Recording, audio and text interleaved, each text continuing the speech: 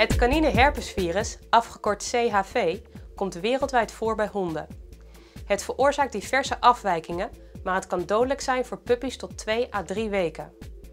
Bij oudere pups en volwassen honden veroorzaakt het virus infecties van de slijmvliezen van de geslachtsdelen en van de voorste luchtwegen.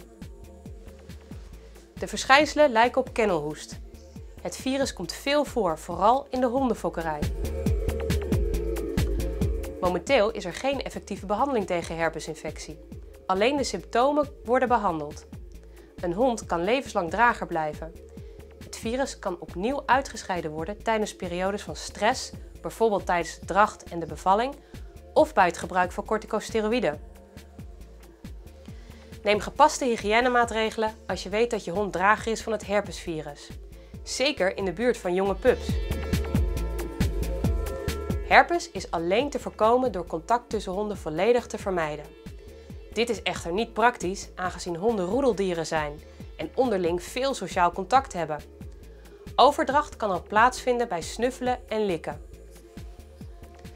Een goede hygiëne is belangrijk.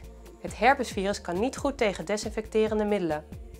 Fokkers doen er goed aan een teefje vanaf 4 weken voor de bevalling tot 3 weken erna in quarantaine te houden. Preventieve vaccinatie van de teef tijdens de dracht biedt bescherming tegen de acute vorm van herpes bij pasgeboren puppies. Ze krijgen de antistoffen via de moedermelk binnen. Waarschuw meteen de dierenarts bij plotselinge sterfte van puppies tot 30 dagen oud. Let ook op bemoeilijkte ademhaling, etterige neusuitvloeiing, gele of groene stoelgang, braken, buikpijn, schreeuwen, fietsbewegingen met de pootjes of naar adem snakken.